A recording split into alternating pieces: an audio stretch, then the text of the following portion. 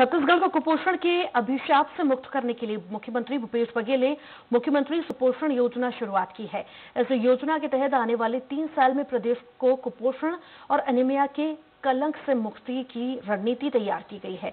गांधी जयंती के दिन शुरू की गई इस योजना को कुपोषण के खिलाफ एक बड़ी लड़ाई के रूप में देखा जा रहा है।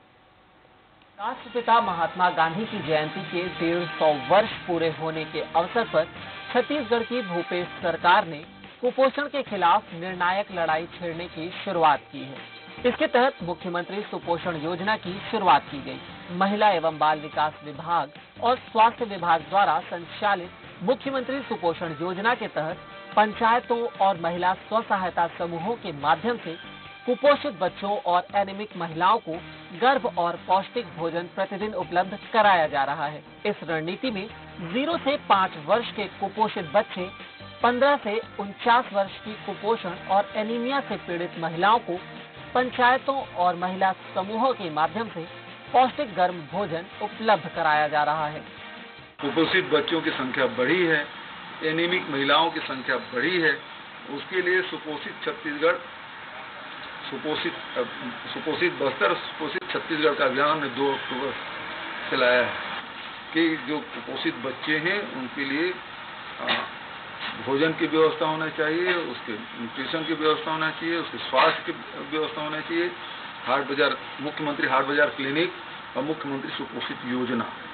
ये हम लोगों ने शुरू किया। शहरी क्षेत्र में भी मुख्यमंत्री शहरी स्लम क्लिनिक योजना की शुरुआत की है, जिसमें स्वास्थ्य का विशेष ध्यान दिया जा रहा है, ताकि छत्तीसगढ़ के लोग स्वस्थ रहें, मज़बूत रहें, ताकतवर रहें।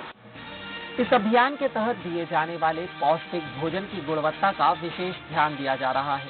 स्थानीय स्तर पर उपलब्ध पोषक खाद्य पदार्थों का उपयोग कर लोगों को सुपोषण के लिए जागरूक किया जा रहा है। योजना के तहत कुपोषित और एनीमिया पीड़ित बच्चों के लिए अलग अलग मेनू बनाकर पौष्टिक भोजन कराया जा रहा है। इसी तरह एनिमिक महिलाओं के लिए भी विशेष रूप से मेनू का निर्धारण किया गया है।